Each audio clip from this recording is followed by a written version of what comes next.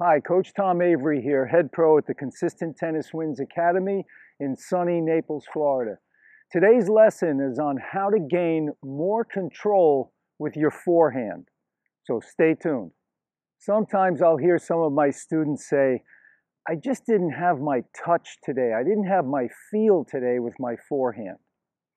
And the reason for that is, is because players are trying to make last second adjustments with their wrist in the hitting zone. Now, when you're trying to make last second adjustments in the wrist, with the wrist rather, in the hitting zone, it's very tricky business because, you know, if the racket face is two to three degrees off, you know, if it's two to three degrees laid back, which is barely visible by the human eye, or two, two to three degrees forward, you're going to be making mistakes. Your opponent's going to be smiling, okay? So it's not what you do in the hitting zone. It's what you do before the hitting zone. So I tell players, you know, you've got to concentrate on your backswing, how you're bringing the racket back. And then as you swing forward, you have to realize that the shoulder is the hinge. You're not playing around with the lower arm and the wrist in the hitting zone, okay? So, you know, players see, when you watch pros on TV, you think that they're using their wrist in the hitting zone. This simply is not true, okay? It happens after the ball is gone. Remember that. The, the wrist is rolling after the ball is gone. So, what you do up to the hitting zone and through the hitting zone, which is about an, a foot to a foot and a half, is what really matters. So you have to concentrate on your backswing, keeping, you know, you don't want the racket wobbling around. That way you don't have to make, you know, you're not thinking you have to make adjustments in the hitting zone.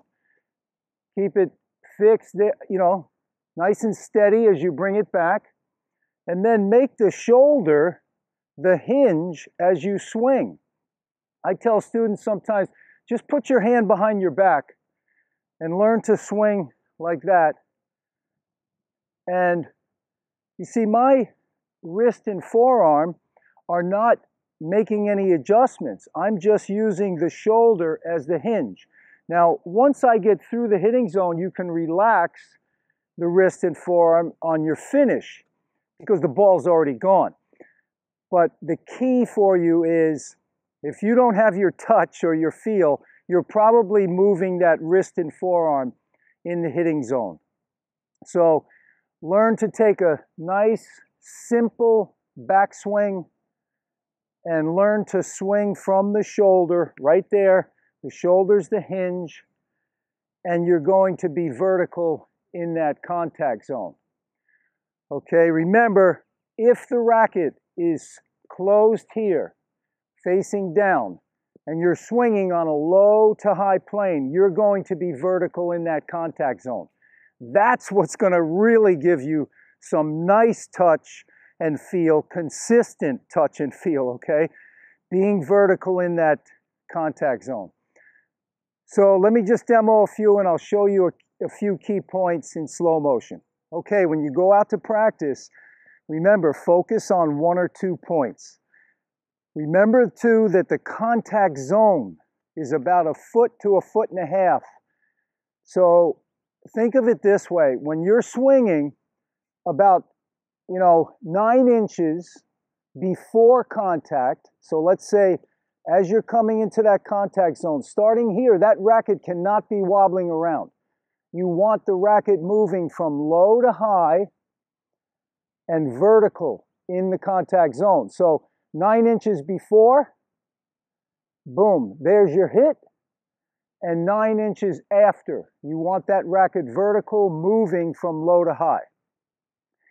That way, if your timing is slightly off, you're still going to keep the ball in play because you've got that, that foot and a half area where your racket's moving low to high in a, and in a vertical position. So that's how you get really consistent, okay?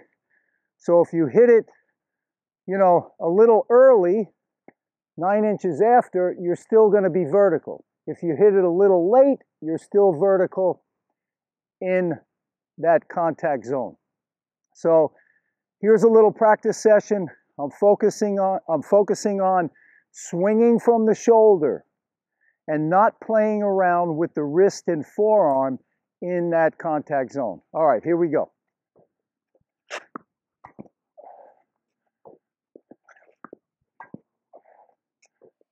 Okay, watch here in slow motion.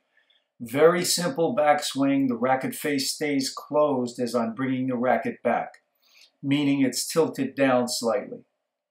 Now, as I come into the contact zone, right there, I'm about nine inches from the contact. The wrist and forearm will not be playing around now in this contact zone. You'll see as the tape rolls that the wrist and forearm stay in that position and the shoulders, the hinge. You can see the ball is gone now. The wrist and forearm now can break. There, you'll see it there. Okay, here again in slow motion from the side. Simple backswing, racket face stays closed on the backswing, tilted down slightly. Now notice as I approach the hitting zone, right there, the shoulders the hinge. I'm not playing around with the wrist and the forearm.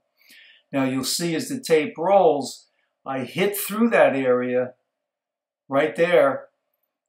Wrist and forearm now can break, and you'll see that happen on this finish. I'll roll the wrist and forearm right there. Well, I hope you enjoyed that video. Use those tips. Remember, if you want a consistent forehand, you've got to be consistently vertical in that contact zone area, that foot to a foot and a half. So work on that, and believe me, your forehand is going to be a confident shot for you, a reliable shot. All the best. Remember, please subscribe to the channel. That helps me out a lot, keeps these videos coming. Um, hit the like button, share it with your friends, uh, post any comments or questions below. And if you want my free forehand course, check the link over here to your right or in the description box below. I also have a free backhand course and a free serve course. All the best and happy forehands. Take care.